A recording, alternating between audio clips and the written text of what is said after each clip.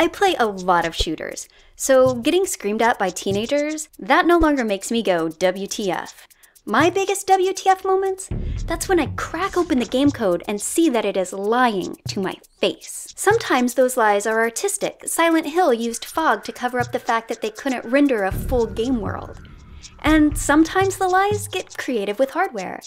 Fuse actually copied data to get enough space for its memory hungry cinematics. It uh, also reminded us that Insomniac does so much better with uh, pointy eared space mongoose shooters, but that's a different story. But my favorites? Oh, those are the lies that are literally written into the code. And do you want to see the coolest of these? The one that hacked together the illusion of a fully lit 3D world and literally had the developers themselves saying WTF. Welcome to CompChomp, the only show on the internets where our scripts don't ban you for camping. But if you even think about spawn killing. In the 90s, 3D gaming was fancy, new, barely charted territory. Now you had beefcakes and bullets and bees and bubbles moving in the X, Y, and Z direction. And in game programming, that meant that you had to wrap your mind around a vector with three components. Do you know what else was moving around these 3D worlds? Light! Yeah, that's right, light, with its rays doing that vector thing too. And you know what? That would just be one of those random curiosity things if you were looking at a nice rendered 3D image, like this one. But in games, we are literally updating all of those vectors every single frame. Let's say uh, 30 frames per second. Now that is a lot of thinking to make your computer do.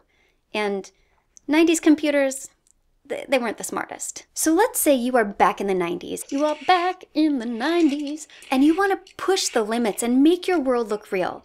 That is going to be 30 frames per second of calculating every single angle that every piece of light bounces and reflects off around your world. NBD, because even before the decade when the Prince was fresh, math had already solved this problem. But unless you are a lag bot, and no lag bots allowed, Time is actually something you just don't have a lot of between game updates. Okay, we are stuck in the 90s with bad hairdos, boy bands, and a ton of light calculation. Actually, it was it was heavy calculation. you know what you're stuck with in the 90s also? Computers that can't handle that. So what do you do? Huh? What are you gonna do? So John Carmack and his team at id Software, they were facing this very same problem while working on Quake 3 Arena. Carmack? Yeah, that's right. The Wolfenstein guy, the Doom guy, the Quake guy. Look, I don't have a super high nerd quotient, and my personal shooter of choice is the kind with claptraps and slot machines, but even I know who this guy is. Math alert! I'm not going to pull out the glasses, but you've been warned. The calculation to come up with the inverse square root, that was kind of too expensive for the computers to do. So they had to come up with an alternative. The one thing it refused to do was give up on those lighting effects failure was not an option. One alternative they came up with was something called Newton's method. It's really good at refining a guess and getting a, to a close approximation, but it takes around five or six rounds of refining. Five or six rounds of guessing and refining the angle of every single light beam hitting every single object in every frame. That's not to work either. They actually had to get a bit shifty with their code. bit shifty. The way a floating point number is stored, let's back up. There's a thing called a floating point number, which, if you're not a programmer, actually, even if you are a programmer, it looks like a regular number. The only difference is that it has some decimal stuff. And for light and angles and movement, you gotta have those more precise numbers. When you're writing it into your code, a float looks pretty much exactly like you'd expect. The way a computer was storing it, though, that was, mm, let's just say, a bit different. bits.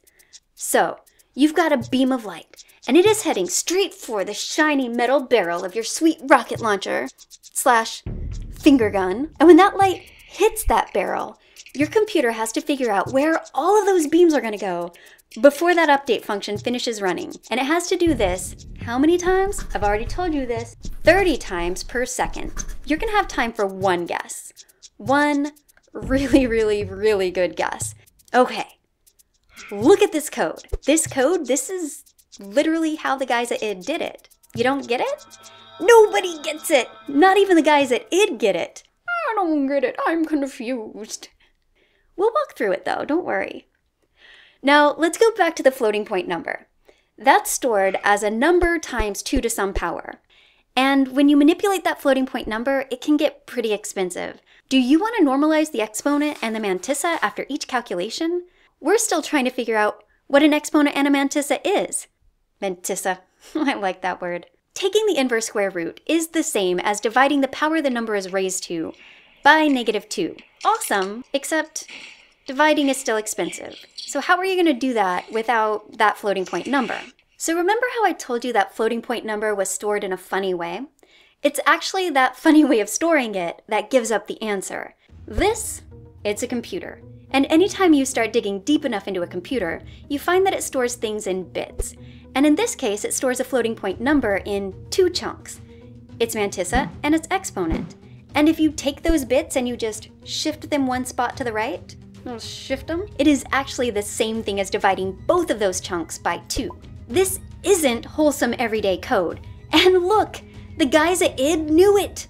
Evil bit level hacking indeed. But this tiny bit of evil, it helped vanquish a costly foe, division, and it sped the whole process up. But I know what you're thinking to yourself. Didn't you say it was dividing by negative 2? So what?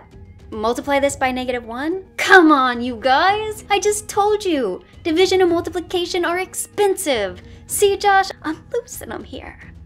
Okay, stick with me one more time. This is the thing. If we go back to those maths, do you know what is very similar to multiplying a number by negative 1? It's subtracting it from 0. It is actually the same darn thing. If you remember though, your bit shift kind of messed with the mantissa too, so there is one last hack. You pull a magic number out of thin air, and that returns everything to normal and leaves you with a changed exponent, but the same mantissa.